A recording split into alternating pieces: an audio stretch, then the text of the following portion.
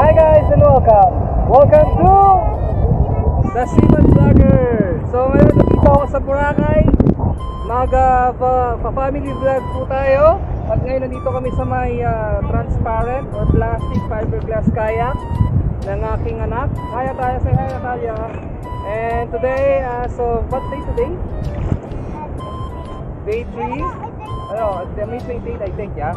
Sa May 28, 2022, ah medyo rough ang ah, shore.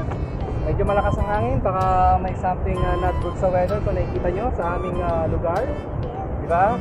And we cannot uh, evenly uh, to, uh, take pictures uh, nicely dahil uh, maalon. And yung anak ko eh, hindi masyado makagalaw. Puro ganyan lang ang posisyon.